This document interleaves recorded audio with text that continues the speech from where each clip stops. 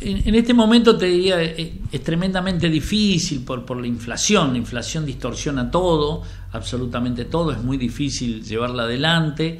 Este, qué sé yo, para decirte el caso del plástico específicamente, tiene precio dólar, por lo tanto, este, siempre, no solo que aumenta todos los meses, sino siempre pensando, che, el mes que viene no tendremos una devaluación. Nosotros, en el único lugar que realmente tenemos muchas dificultades en la importación de las máquinas de coser, hemos vendido o estamos vendiendo las pocas máquinas que nos quedan y no se pueden más importar, es una dificultad, ya nos faltan algunos modelos, igual estamos buscando alguna alternativa, porque las podríamos importar, pero, pero las tenemos que pagar dentro de seis meses, el Estado nos deja pagar dentro de seis meses.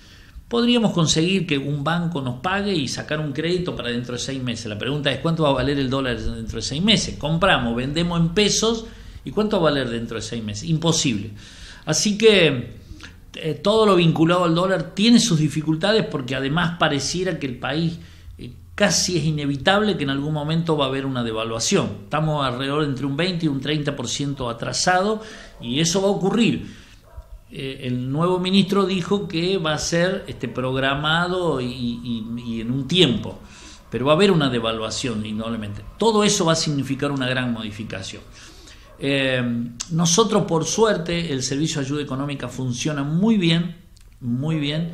Este es un momento de mucho requerimiento de crédito y estamos muy bien, hasta el punto que vamos a abrir nuevas filiales, este, Río Cuarto, Rafaela, alguna más que está dando vuelta.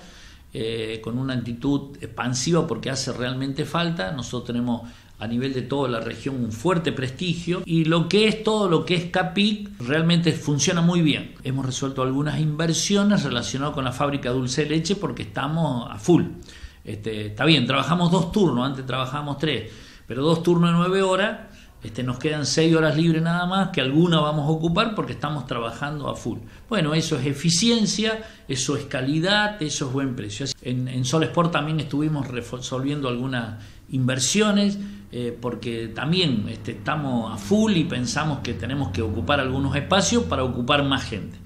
Eh, así que para Devoto el grupo cooperativo está atravesando muy buen momento porque es fuerte, es solvente, este, cuenta con los recursos para una buena administración y te diría que no vamos a tener ninguna dificultad. Por supuesto, ¿qué es lo que deseamos? Que se estabilice un poco, porque si nosotros logramos estabilizar la posibilidad de crecimiento es muchísima más.